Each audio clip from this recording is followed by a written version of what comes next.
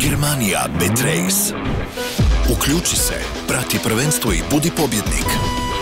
Utrka počinje 21. studenog. Germanija. Kak ti, kak provariš kritike? Ja nemam apsolutno nikakav problem, ja sam prva koja će svaki put, evo ja i sad još uvijek njih svaki put pitam kako vam je bilo jer on sve ok.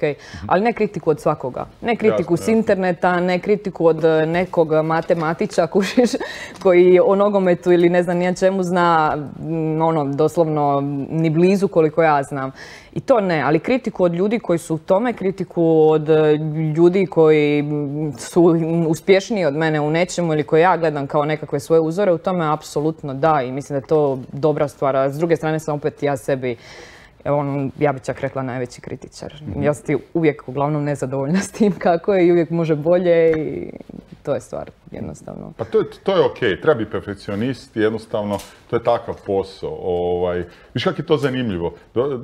Do, si me na jednu stvar koja je stvarno točna, a to je da je kad sam gledao, mislim da mi Mila Horvat je otvorila to, pa su slijedile druge, ali nisu. U biti, Mila Horvat je bila kad prije deseta godina, ono dosta aktualna. Ona je prije 20 počela, da, realni. Da. I, sad, da, ovaj, I sad kad pogledaš, tek sad zadnjih, evo, možda par godina opet se uh, forsira, odnosno što misliš zašto je to? Zašto sad odjednom ima toliko žena u, u nogometu? Je li to možda neki trend koji je došao izvana? Da, možda i konkretno što došlo je sigurno izvana, jer ni, vana, ni vani to nije bilo uobičajena stvar do prije, pa ne znam, evo, nisam toliko sad pratila kakva je situacija bila vani, ali mislim da unatrag sad 5-10 godina da nije ni vani to bilo baš nešto super popularno.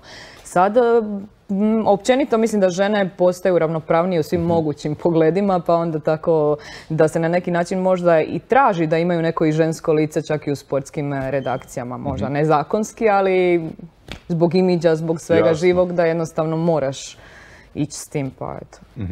Eh, koliko si u nogometu? Koliko si duboko unutra? Eh, znam da si duboko unutra i puno to vidim, baš prema podcastu vidim, koliko pratiš jer ja ja ne znam, stotinu tih informacija, uopće ne pratim šta se događa, ali